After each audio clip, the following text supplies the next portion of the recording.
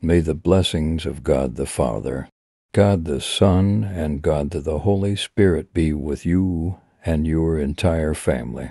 I want to pray for your life and your family, specifically for your children. Declaring these powerful psalms with each psalm, I will be offering a prayer. In this prayer, you can find rest. You can even lie down in your bed and let these psalms bless your family. Agree with me in this prayer. These songs are songs of spiritual battle and psalms to overcome the enemy. The Word of God is like a sharp sword, certainly when you use with faith, connected to the Holy Spirit. Great miracles happen. Spiritual chains fall to the ground. If you are suffering from fear, anxiety, if you are still enslaved to the past, or even the present, know that this prayer we are about to pray will bring life and peace to your life and your family. Psalm 91 He who dwells in the secret place of the Most High shall abide under the shadow of the Almighty. I will say of the Lord, He is my refuge and my fortress, my God in whom I trust. Surely he shall deliver you from the snare of the flower and from the perilous pestilence. He shall cover you with his feathers, and under his wings you will find refuge. His trust shall be your shield and buckler.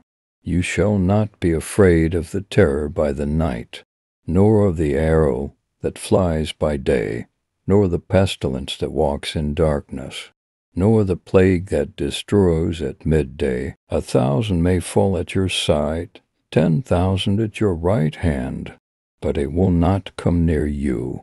You will only observe with your eyes and see the punishment of the wicked. If you say, The Lord is my refuge, and you make the Most High your dwelling, no harm will overtake you, no disaster will come near your tent, for he will command his angels concerning you.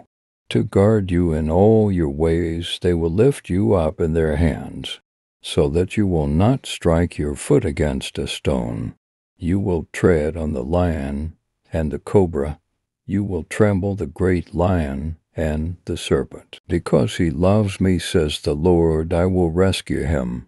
I will protect him, for he acknowledges my name. He will call to me, and I will answer him. I will be with him in trouble. I will deliver him and honor him. With long life I will satisfy him and show him my salvation. Lord God, in the blessed name of Jesus Christ, we now ask for your protection over this house. We declare, O God, that the mighty hand of the Lord is upon each one of them. In this home, in this environment, we bless this house, O Father, so that there may be peace, so that they may be joy, so that the Lord may strengthen this home. We rebuke everything that is negative fights, disagreements, contradictions, and we want to declare that the blessings of the Lord over this home. Prophecy, O Father, that in this home people will sleep safely, yes, because the Lord is sustaining this house, Lord God. We declare that the hand of the Lord, the mighty hand of the Lord is upon this house and the environment. The blood of King Jesus is covering, protecting the roof of this house. We pray, Father, declaring that no evil has the power to move within this house or even disturb the sleep of the people who live in this home in the mighty name of King Jesus.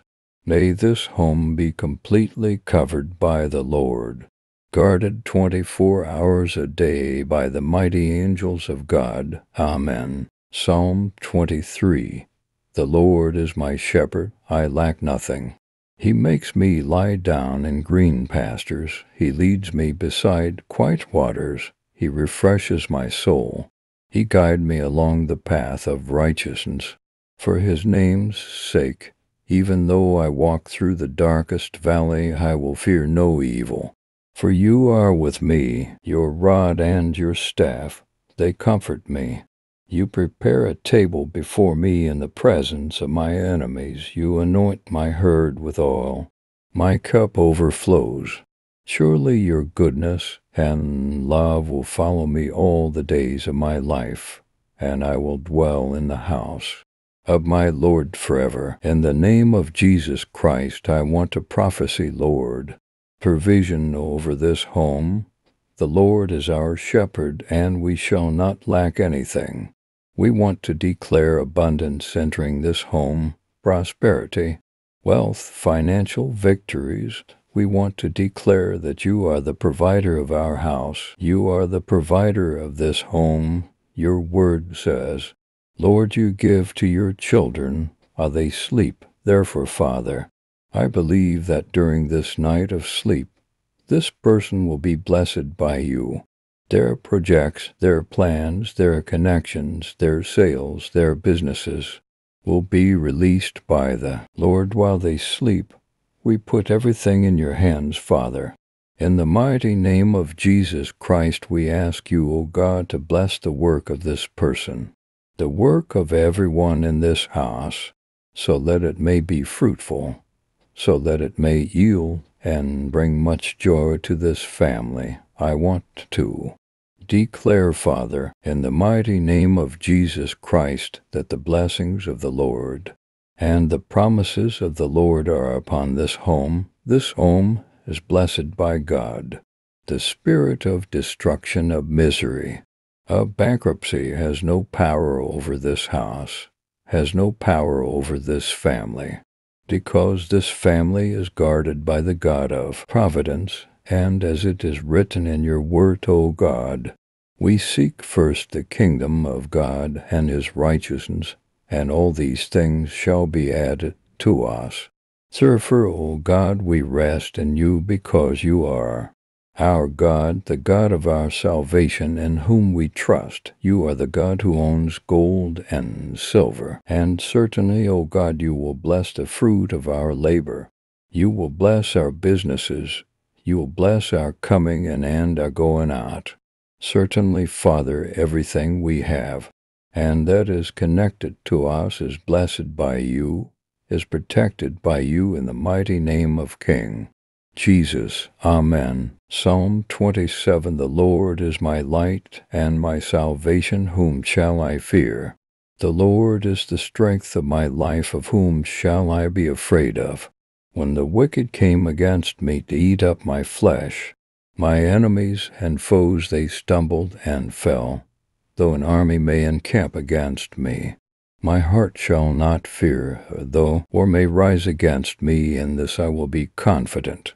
One thing I have desire of the Lord, that I will seek, that I may dwell in the house of the Lord all the days of my life, to behold the beauty of the Lord and to inquire in his temple.